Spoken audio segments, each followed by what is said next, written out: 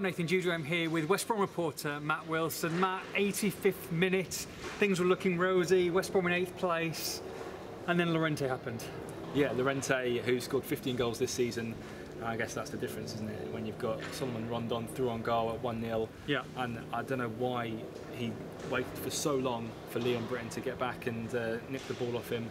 What I do know probably is lack of confidence that mm. he's, he's, scared to pull the trigger because he, he's only scored one goal since mid December when Llorente sweeps home, you know, his only chance of the game really, and he set up the Swansea's first goal with a header across goal.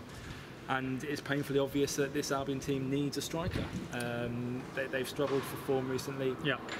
Um, they were five minutes away from finishing eighth in the table, which would have been a great uh, achievement. Um, it's tampered somewhat by the fact that the, the table is so top heavy this season mm-hmm. that um, you know Albion uh, they finished in the top half. They finished tenth in the end, uh, but they're only five points um, clear of seventeenth. Wow, which. Uh, because considering where they were in February is, is, is some significant uh, tail off in form. So um, it's, it's, a bit of a difficult one to to uh, to uh, analyse. It's mixed emotions at the end of the season yeah. because you had four fantastic months between um, November and February, where the team swept aside all of those uh, around them and below them, uh, everybody apart from the, the, the top clubs, and mm-hmm. you know that that is perhaps the limit that you can expect. You know, uh, try and get nick a couple of points from the top clubs mm. when you can, but beat those teams around you and below you, and, and, and you'll have a good season. But to tail off as, as they have done since 40 points is really disappointing for the second season now in a row that, they finished on a, on a nine game winless streak. I think Swansea, for all their problems and issues this season, only finished four points below Albion, which, which is very telling. Yeah, absolutely. It just tells you what the league, where the league is. Um, there's a lot of clubs who are pretty similar. In, in, in it has to say, mm-hmm. has to be said, um, and it just goes to show that, you know, uh, a, few, a, couple of weeks ago, um, or I think it was last week, Tony was named or shortlisted as one of the Premier League managers of the year. Mm-hmm. Um, probably because Albion have been in eighth and been safe for so long. Um, but now that look, might look a bit a bit silly um, because actually everybody's pretty much finished there or thereabouts and pretty much the same. You know, we, we, over the course of the season, season sure. we're talking about like very thin lines. You know, mm-hmm. the, the, you know the width of a post probably for some of these teams finishing above each other. Mm-hmm. It's clear now that this league.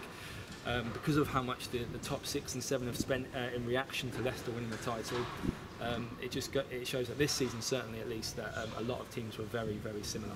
Tony Pulis in the in the post-match press conference hailed it as an unbelievable effort this season, which I think is easy to forget because you know 10th place at the start of the season. I think a lot of Albion fans would, would have, would have quite happily taken 10th. Oh yeah, absolutely. Uh, you know, you, you, think back to those days in September when uh, they lost to Northampton Town in the League mm-hmm. Cup, and you know um, they lost to Bournemouth away, and and the, and the fans were telling uh, Tony what what they thought of his football. Um, I think nobody at that stage, um, after deadline day, was such a damp squib. You know, getting, you know, you can dress up as much as you want, but Hal Robson Kanu was a last resort. You know, it, it, they, they didn't get the players they wanted to get mm. in, um, and they didn't get the, the, number of players they wanted to get in. Um, it, it does have to go down as, as a minor success, but that's what it is. It's a minor success. It's not. It's not. Um, it's not a. It's not a fantastic success. It's not yeah. a great success. It's not the success that we certainly thought it was going to be. Uh, you know, January, February time. Mm. Um, I do think the squad has improved. I think Livermore, although he's although he's tailed off recently, I think you know we saw in the first sort of half dozen games that he is a better replacement for Gardner. Mm-hmm. Um, there, you know, there's there are other additions. Allan Nyom's been a surprise package this mm-hmm. season. Matt Phillips has been fantastic, and actually, if Phillips hadn't got injured uh, for the last uh, few like couple of months of the season, mm-hmm. they may have finished a lot higher. Um, so there, there is there has been small steps, small progress, but there, there is no getting away from the fact that uh, this squad is in desperate need of some additions in the summer. Very thin on the ground in a couple of key areas, like up front and also now in defence. They've only got four senior defenders um, officially at the, at the club mm-hmm. because obviously Marc Wilson's on loan. So yeah, a lot of um, a lot of uh, work needs to be done. Tony Pulis jets off to China tomorrow. You feel like those are going to be some very interesting meetings.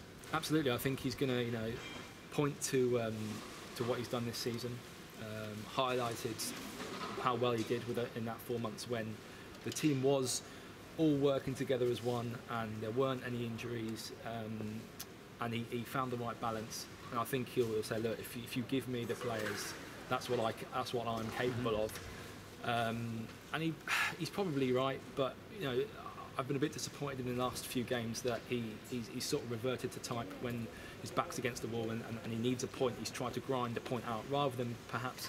I mean, he started Morrison today, which I'm which I was pleased to see. But rather than you know play Morrison and Brunt and, and, and, go for games and attack, Mm-hmm. um, and also give the youngsters a go, you know, freshen it up. Give Mm. give the. I know we gave Sam Field a couple of starts, but you know today he didn't give any of the, um, the youngsters um, any time. I mean, Leko came on for seconds, which was pointless. Really. Did he insinuate, though, in, in, in, the press conference that, that maybe he'd been told that they need to finish as high as possible with money situation? Well, obviously, prize money this year is 1.9 million per Mm-hmm. place, um, and he, he was he was saying that's the reason why he didn't play the kids uh, more was because there was so much up for grabs for each for each place. But to be honest, that rings a bit hollow when the team that he was putting out there aren't winning games. Mm. You know, so why not freshen it up in, in a bid to win more games? Mm-hmm. Yeah. and that's that.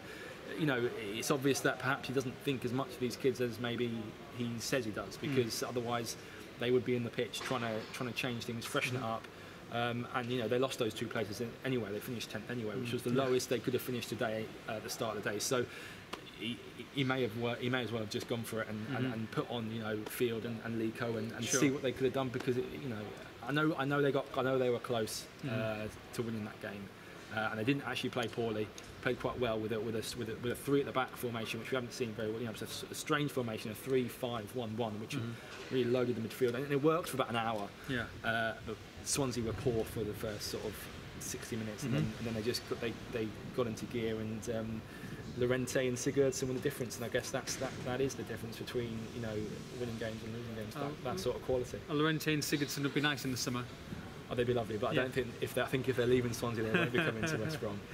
Swansea City 2, West Brom 1 for all the post match action on this one. Make sure you log on to expressandstar.com.